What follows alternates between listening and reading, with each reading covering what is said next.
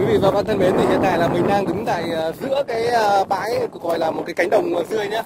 Nhìn ờ, xung quanh là toàn là nước mênh mông như kiểu là khu vực biển đấy các bạn này. Mình sẽ quay một vòng nhé.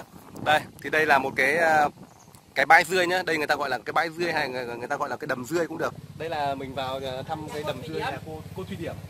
Nhà cô thủy Điểm ạ. Đây đây cô là chủ luôn đúng không? Đây là cận cảnh rươi này các bạn này. rươi nó bơi nhìn này nhìn ờ, nếu mọi người không biết thì nhìn đây cứ tưởng là đoàn ờ, cá cá vàng ấy. Nhìn giống như kiểu cá cảnh ấy.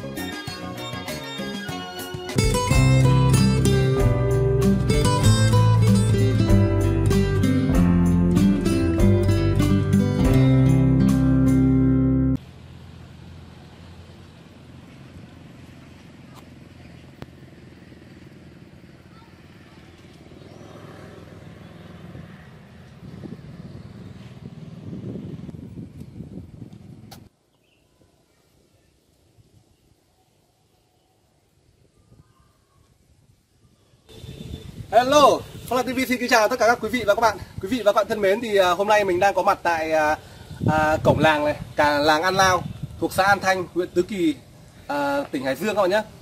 Thì cái ngôi làng này được à, thiên nhiên à, ban tặng cho một cái đặc sản cực kỳ là nổi tiếng và và có có giá trị.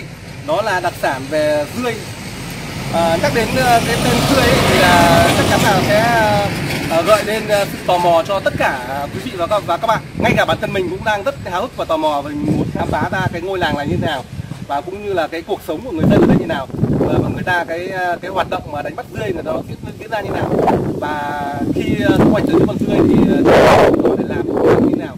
Thì ngay bây giờ thì mình sẽ trực tiếp đi vào ngôi làng này khám phá và sẽ mời tất cả quý vị và các bạn cùng theo chân mình để khám phá ngôi làng nhé.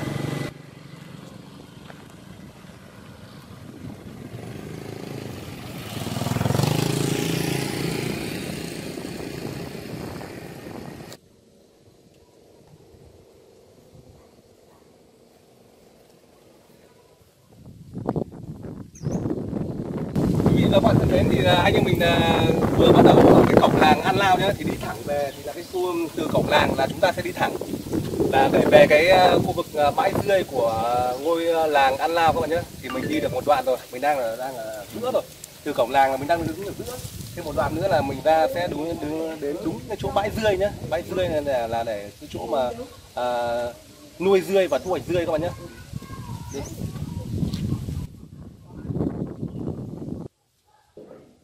Ờ, quý vị và các bạn thân mến thì ờ, từ trung tâm thành phố Hà Nội là chúng ta sẽ đi tầm khoảng là 8 90 km thì sẽ đến cái ờ, ngôi làng An Lao. An Lao là cái ngôi làng nổi tiếng với cái nghề à, dươi đấy. Cái dươi này là đặc sản gọi là trời trời phú cho đấy các bạn nhé. Ngôi làng này là có cái đặc sản như vậy. Chúng ta sẽ gần gần tới cái địa điểm chúng ta cần đến rồi.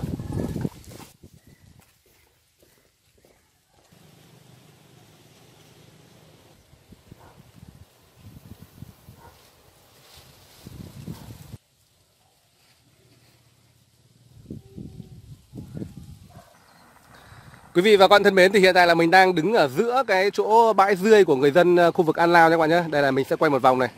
Đây này. Cái ờ, trước ờ, mắt tất cả các quý vị và các bạn nhé. Đây là cái khu vực mà bãi rươi của người dân nhé. Đây này. Bây giờ là đã được phân chia theo từng gia đình là sẽ được phân theo lô ấy. Đây là chúng ta sẽ thấy có cái phần ngăn ngăn cách đấy. Đấy chỗ có có người áo xanh đứng ấy. đấy nhá, cái từng- một ngăn một là của từng gia đình một nha các bạn nhé. Đây. Phía trước mặt của chúng ta này và cả cái bên này nhé cả cái bên ờ, khu vực ờ, chiến đê này, này là bên tay phải nhé là hất về bên này này. Tính từ bên ờ, tay phải của mình nhé là chỗ chiến đê này là bên tay phải là hất về bên này này là cả một cái khu vực mà nuôi ờ, dươi của người dân ở khu vực này nhé các bạn nhé đây. Mình sẽ quay một vòng cận cảnh này. Đấy. Bây giờ là mình sẽ tiến thẳng vào bên trong nhá mình sẽ có quay cận cảnh từng cái ô một từng cái khu vực một và cách người ờ, dân người ta nuôi trồng dươi như, như thế nào mà người ta sẽ thu hoạch dươi như thế nào nhé thì bây giờ mình sẽ vào à, à, tham quan và xem cận cảnh nhé các bạn nhé. Quý vị và các bạn thân mến thì hiện tại là mình đang đứng tại giữa cái bãi gọi là một cái cánh đồng dươi nhé. nhìn xung quanh là toàn là nước mênh mông như kiểu là khu vực biển này các bạn này. Mình sẽ quay một vòng nhé đây thì đây là một cái cái bãi dươi nhá. Đây người ta gọi là cái bãi dươi hay người, người ta gọi là cái đầm dươi cũng được của một hộ, hộ gia đình nhé các bạn nhé đây ví một cái ô như này là của một hộ gia đình này. Đây sang bên này nhé là một cái ô như này là của một hộ gia đình khác nha các bạn nhé thì bây giờ là xã người ta sẽ phân chia ra à, từng nhà một mỗi nhà sẽ được bao nhiêu à, diện tích ấy. Đấy thì bây giờ sẽ phân chia như này và người ta sẽ trồng chuối xung quanh cái khu vực mà cái bãi dươi cái đầm dươi nha các bạn nhé đấy còn phía xa xa cái xung quanh cái xung quanh là tất cả là cái khu vực này là đều là bãi dươi hết nha các bạn nhé đây này bây giờ là trong ờ, cái cái giai đoạn này là ờ, sắp sửa đến giờ là gọi là người dân thu hoạch dươi rồi. Bây giờ mình sẽ quay một vòng cho tất cả các quý vị và các bạn xem nhé. Và sau đó là mình sẽ đi cận cảnh, đi quay cái cái ờ, trực tiếp cái cận cảnh mà người dân đi thu hoạch dươi các bạn nhé. Ok. Quý vị và các bạn thân mến, thì là mình đang đứng tại một cái khu vực nuôi dươi này. Đây nhá. À, cái à, trước mặt quý vị và các bạn là đây là cái ờ, chỗ cái cống. Cống này là cái chỗ cống người ta sẽ dùng để à, à tháo nước để bắt dươi các bạn nhé. Đây này. Đây camera quay quay cảnh con dươi đấy quay tận cảnh đây.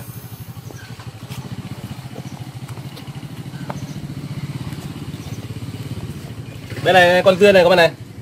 Đây con dươi nó đỏ đỏ như này nhé đấy khi con dươi mà cái mùa nước lên đấy con dươi nó nổi nhiều này thì người ta sẽ thu hoạch nhá. Thu hoạch bằng cách là tháo nước ở cái cống này này thì ờ, sau đó là nước sẽ chảy qua cái túi này và con dươi sẽ bị mắc lại ở cái túi là người ta cách thu hoạch dươi là như vậy nha bạn nhé. Đấy. Bây giờ mình sẽ đi vào bên trong nhà và chị bên trong. Bây giờ anh em mình ờ, đi vào thăm ờ, thăm cái cái ruộng dươi. Đây là người gọi gọi là đầm dươi hay là ruộng dươi? Gọi cái ruộng dươi cũng được và đầm dươi cũng được. Đây là mình vào thăm cái đầm dươi nhà cô cô Thủy Điểm ừ. Nhà cô Thủy Điểm ạ. Ừ. đây đây cô là chủ luôn đúng không? Cô là chủ luôn. Đây này cô chủ đây ừ. đây. Đây dươi nhà cô đây. Nhà cô thì ruộng nó chỉ có mấy xào thôi. Nhưng mà đây là cái phân này là cô chuẩn bị cho cái vụ sau mà cô lấy từ năm ngoái. Thế nhà cô là dươi đã thu hoạch chưa? Cô đấy bắt đầu hôm nay cô thu hoạch đấy. Tức là tí, tí ở nghĩa là cô thu hoạch nhiều rồi. Bao nhiêu năm nay rồi? Tức là chiều nay cô có thu hoạch không? À hôm nay cô thu hoạch đấy giờ hôm nay cô thu hoạch rồi mà. Giờ à. đấy giờ thu hoạch. Bây giờ chuẩn bị thu hoạch đấy à? Ừ đây này là cái cháu đặt cửa máng này chị biết là phân này cô lấy hơn một năm này cô để đây để nay mai cô cấy. Cô ta bắt xuống đây thì cái phân này cái dụng này cô cấy là bắt không là thuốc không đây là bạn tự nhiên thôi tự nhiên hết không một cái gì cả nhưng mà một tí thì cái con cây này nó dễ mất lắm. Mình không cẩn thận cái này nó sẽ mất luôn. Đây. Ôi cận cảnh dươi này, này nhìn đẹp không? Nhiều hơn nhỉ các cháu sang rồi chứ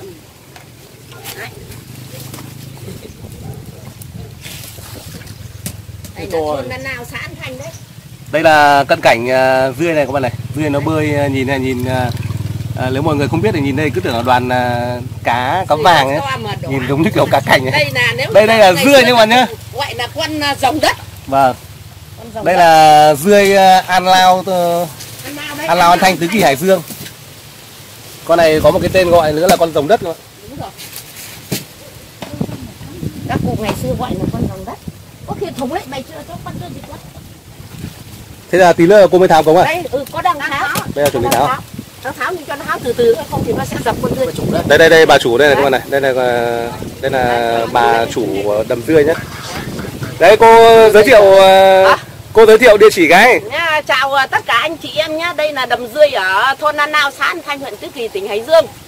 Thế là đây là ruộng à, dươi nhà mình là bắt đầu giờ chuẩn bị là mình khai thác lấy dươi đây là những cái hộp xốp để mình đựng dươi nó phải chết đấy đấy một con dươi là rất to mà đỏ vâng. Bây giờ mà khách mà người ta muốn liên hệ với cô để ờ, đặt hàng các thứ thì liên hệ theo số điện thoại như nào cô? Theo số điện thoại của cô mà không của chú cũng được. Và cô có đọc số của chú đi. Của chú nha 0972 487 256. Đấy là của chú Điểm. 0972 487 056 nhé các bạn nhá. 256. À 0972 487 256.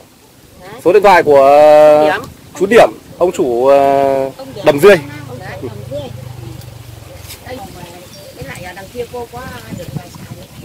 Thế là tổng nhà cô là bao nhiêu xào tất cả? cô được 7 xào. 7 xào, 7. Vậy sao nếu mà so với các cái ờ, hộ gia đình ở trong khu vực thì là nhà cô là nhiều ít. nhà cô trung bình trung bình À. Thế là nhà, là nhà nước là cũng chia đều chứ. Ừ, Mỗi đều. nhà đây là ruộng bảy, tám đỏ sào. của anh gia đình nhà mình Vâng. là nghĩa người đi canh tác Vâng. nhưng mà người ta không canh tác thì người ta bán thì nó dồn vào thì nó sẽ hộ to to còn đây của nhà cô là cô dồn hai gia đình vào Vâng. Thế đất này là tính là theo đất 50 năm hay đất như nào cô? đất này là đất không ba đấy Đất 03 là nghĩa là đất không ba rồi là đất nông nghiệp không ba đấy vâng. cái khu này là khu chiều bãi mà người ta chia cho à, từng hộ một đây giả dụ nhưng mà mỗi khẩu bảy thước chẳng hạn Vâng. thì nhà cô ờ, được uh, 10 khẩu thì nó được 5 xào Vâng. hạn nó là như thế Vâng. mà nó cũng là đúng chứ không phải chẳng hạn nữa. Vâng. Đây này, cận cảnh ờ, con dươi nhá các bạn nhá. đấy là người ta chắn rác ờ, cận cảnh sẽ cận cảnh dươi Đây nhá. xuống đây mới biết con dươi nó sạch sẽ nhá Không Đây là mình- lần đầu tiên là mình được sờ vào con dươi này các bạn này. đấy rất xào vào con dươi rất dễ chịu Nếu mà bình thường mà mọi người mà chưa biết con này là như nào, nó có tác dụng như nào hay là nó là một món ăn ấy, thì mọi người sẽ rất chia sợ. Nhưng mà mình biết ở đây là một cái món ăn đặc sản rồi, nên là mình mình không có cảm giác sợ nữa. còn nếu như về vụ chiêm thì Trung Quốc cứ thu mua là cỡ năm sáu Đây nhá, dươi nhá các bạn nhá.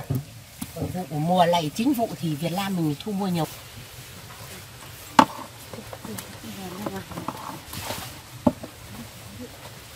Đẹp thế nhỉ.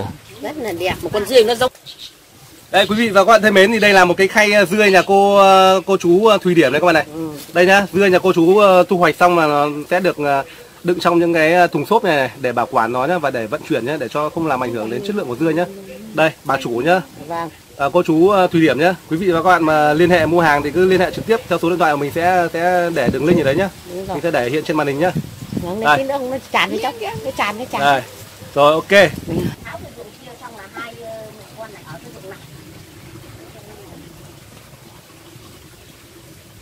Thời gian tầm này là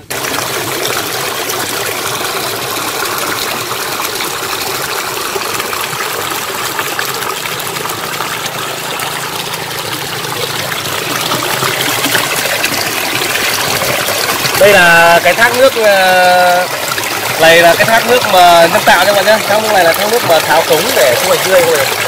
Đây này. Nước chảy xuống đây nhá. Thì con dươi của chúng ta nó sẽ này, con dươi của chúng ta nó sẽ được qua cái ờ, cái túi dưới này này. Đấy. Sau đó là nước nó nó cạn đi thì chúng ta sẽ nhấc cái lưới này lên để để thu hoạch dưa nhé mọi bạn nhé. Wow.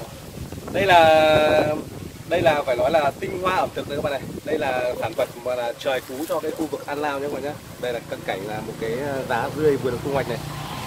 Nhá. Cái giá cái dươi này, này làm được rất nhiều món ờ, đặc sản. Thứ nhất là có thể là dươi ờ, chả dươi này, chả dươi này, à, mắm dươi này, lẩu dươi đúng không cô? Lẩu dươi nhé. Nói chung là rất rất nhiều món cái này rất chi là bổ dưỡng nha, các bạn nhé. Thì vừa rồi là mình đã đi một vòng mình giới thiệu sơ qua cái khu vực làng An Lao, à, xã An Thanh, huyện Tứ Kỳ, à, tỉnh Hải Dương nhé các bạn nhé. Thì à, cái video này này mình sẽ kết thúc tại đây và sau đây là mình sẽ có nhiều cái hoạt động ở khu vực này nữa. Ví dụ như là mình sẽ cận cảnh đi à, thu hoạch dươi này và cận cảnh à, à, đi cùng mọi người sẽ thu hoạch dươi nhé các bạn nhé. Đấy. Và xin chào tạm biệt và hẹn gặp lại tất cả các quý vị và các bạn ở những video tiếp theo nhé.